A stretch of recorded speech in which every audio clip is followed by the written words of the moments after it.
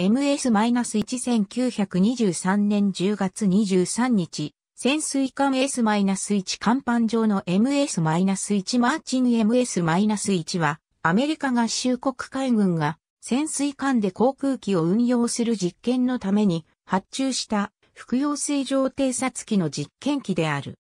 1923年からコックスクレーミニ XS と共に実験に用いられ、1926年に計画は中止された。1923年10月24日、S-1 甲板上で、組み立て中の MS-11923 年10月24日、後部甲板に MS-1 を搭載した S-1 第一次世界大戦後、アメリカ海軍航空審議会が潜水艦から運用する観測機、偵察機の可能性を検討する実験を行った。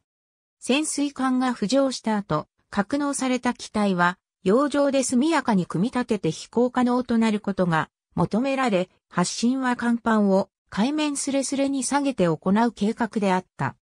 実験機として、マーチンに木製構造の MS-1 が発注され、新興メーカーのコックスクレーミンに全金属構造の XS が発注された。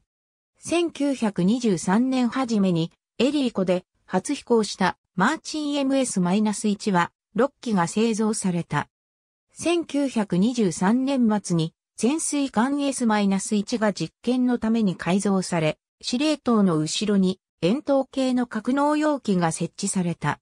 1923年11月5日に最初の実験が成功した。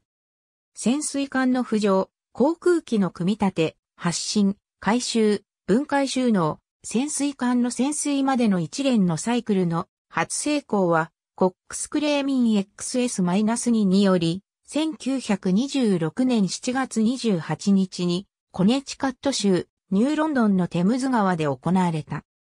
1926年末まで海軍のリスト上に A-6521 から A-6526 までの6機すべてが存在したが、1926年に実験が実施された後、実験機は廃棄された。出展、アビエーションエンスージアストコーナーハット、アーカイブされたコピー。2011年8月28日時点のオリジナルよりアーカイブ。2011年9月22日閲覧。アーカイブされたコピー。2010年12月8日時点のオリジナルよりアーカイブ。2011年9月22日閲覧。ありがとうございます。